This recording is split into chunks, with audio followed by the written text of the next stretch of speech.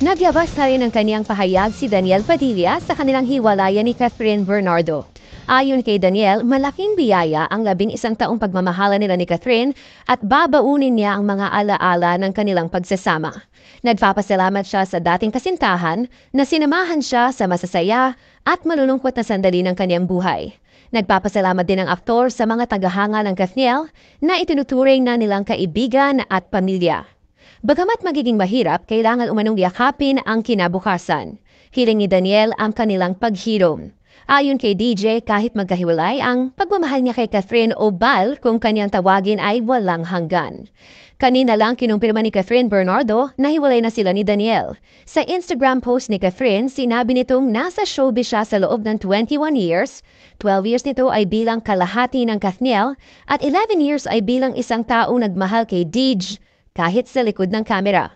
Dagdag pa ni Kath, lumaki siya sa industriya na hindi nagpapadikta at mapalad siya dahil sa natatanggap na paggabay at best support system.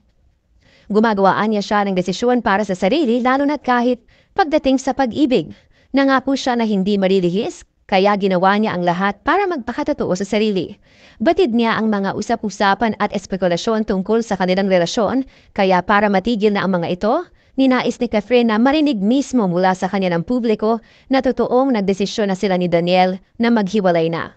Sabi pa ni Kath kung anuman ang meron sila ni Deej, tunay ito at hindi para lamang sa show. Hindi sila pumasok sa relasyon para lamang sa kamera, hindi dahil sa fans o dahil sa pera bunsod ng matagumpay na love team. At giit ni Kath, tunay na nagmahal sila ni Deej. Hindi gumano pinagsisisihan ni Catherine na nakapiling niya si Daniel ng halos kalahati ng buhay niya. At hindi niya ito ipagpapalit sa anumang bagay sa mundo. Ang labing isang taong relasyon ay nagbigay anya sa kanya ng saya, adventure, at pakiramdam ng isang tunay na tahanan sa piling ni Daniel.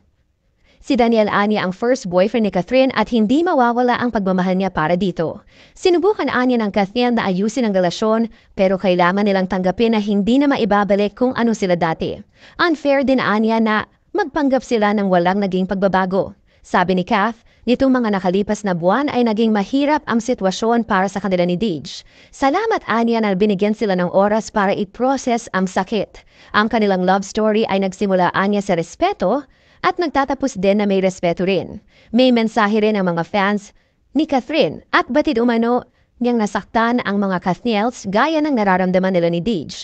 Pero sana ay maintindihan sila ng fans at samahan sila sa healing process. Sabi ni Kath, patuloy nilang susuportahan ni Deej ang isa't isa.